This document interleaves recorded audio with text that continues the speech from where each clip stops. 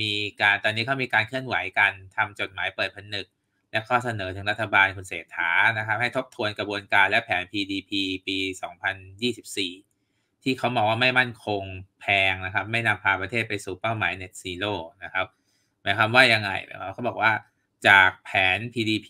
2024 เนี่ยปล่อยมาในหลักการให้ทำแผนเต็มไปด้วยคำถามและความน่าสงสัยและไม่มั่นคงแพงนะครับ เขาบอกว่าในฐานะคนใช้ไฟเราอยากเชิญชวนให้ทุกคนเนี่ยเข้ามายื่นจดหมายเปิดผนึกนี้นะครับ แล้วก็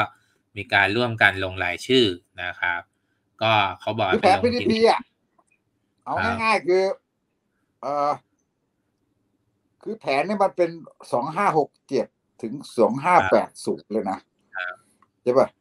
ซึ่งมันจะมีการที่คนที่คัดค้านเนี่ยคือมันเป็นการแบบเอ่อหนึ่งก็คือว่ามัน มันรับซื้อก่อสร้างโรงไฟฟ้าแล้วจะรับซื้อมากเกินจำเป็นเท่าที่เขาคำนวณดูเนี่ยประมาณสองพันเมกะวัตต์ใช่ป่ะอ่า แล้วก็คือมันประเมินเศรษฐกิจที่ผ่านมาประเมินเศรษฐกิจ GDP มันไม่โตเท่าที่ควร เราก็เลยแบบไปแบกค่าไฟค่าเนี่ย FT อะไรต่างๆเนี่ยใช่ป่ะ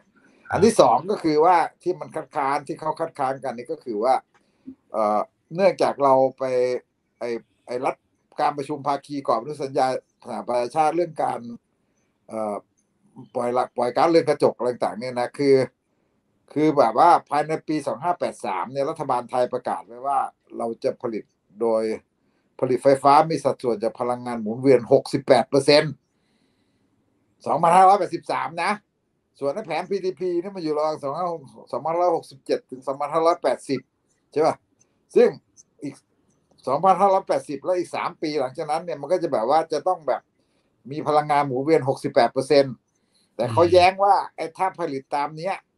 ซึ่งมันเป็นการก่อสร้างก๊าซธรรมชาติไฟฟ้าจากเขื่อนอะไรต่างเนี่ยพอไปถึงปี 80เนี่ยคุณจะไม่มีทางใกล้เคียงกับ63เปอร์เซ็นต์อ่า คุณไม่มีทางเข้าใกล้ 63เปอร์เซ็นคุณจะอยู่ที่ประมาณ เท่าไหร่วะ เนี่ย อยู่ที่ประมาณ 51เปอร์เซ็น เขามีห้าข้อเสนอใช่ไหมให้แก้หนึ่งก็คือให้คำนึงถึงการลดการปล่อยคาร์บอนในภาคพลังงานเป็นเป้าหมายสำคัญ ให้เกิด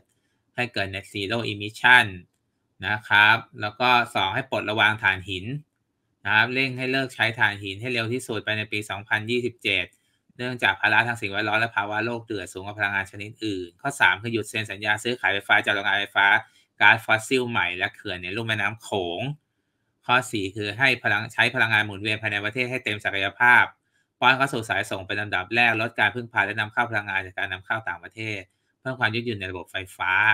รองรับการเพิ่มขึ้นของพลังงานหมุนเวียนและทำสัญญาซื้อขายนำเทคโนโลยี ระบบกักเก็บพลังงานและบริหารจัดการแบบกระจายศูนย์มาใช้ ข้อสุดท้ายคือเตรียมความพร้อมสำหรับซื้อขายไฟฟ้าจากพลังงานหมุนเวียนจากภาคครัวเรือนและเปิดโอกาสให้บุคคลที่สามารถขอใช้บริการระบบของขายไฟฟ้าได้อย่างเต็มที่ นะฮะพูดง่ายๆเท่าที่เข้าใจคือว่า ไอ้แผนตัวใหม่ก็ยังคล้ายๆ แผนเดิมไปเรื่อยนะครับ ก็คือคือมันไม่เปลี่ยนเน้นเน้นนำเข้าใช่ไหมครับ เน้นก็คือพูดง่ายเขาเน้นความมั่นคง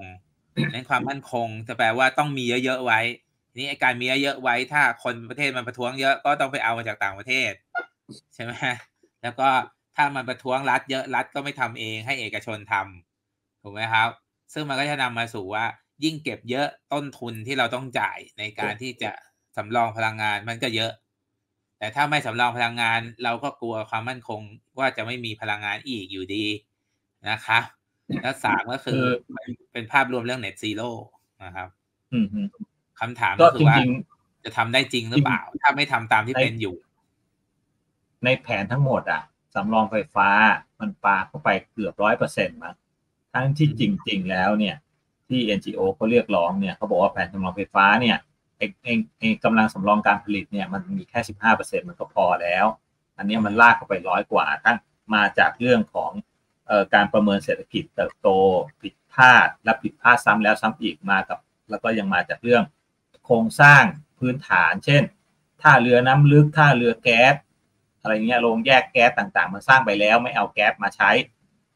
มันก็จะทำให้โครงสร้างพื้นฐานพวกนี้ไร้ประโยชน์ เพราะฉะนั้นมันก็เลยกลายเป็นกับดักที่หนีไม่พ้นที่จะต้องใช้แก๊สทั้งที่จริง ๆ แล้ว แผนมันต้องเป็นพลังงานหมุนเวียนแล้ว แล้วเอาจริงพลังหมุนเวียนพลังแสงอาทิตย์เนี่ยราคามันก็ถูกลงเรื่อยๆแล้ว รวมทั้งนี่รวมราคาต้นทุนของ